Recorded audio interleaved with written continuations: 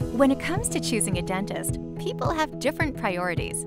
Delta Dental has two networks to choose from Delta Dental PPO and Delta Dental Premier. A subscriber using a Delta Dental PPO network dentist will save the most money, much more than someone using an out of network provider. But what happens when your dentist does not belong to the Delta Dental PPO network?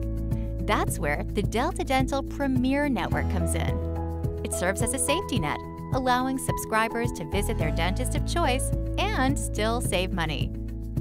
While they won't save quite as much as those within the Delta Dental PPO network, the benefits are still significant. Over 90% of dentists belong to our networks. Nationally, the percentage is nearly 80%. So when someone asks, Is my dentist in network? Most likely, you can answer with a resounding yes.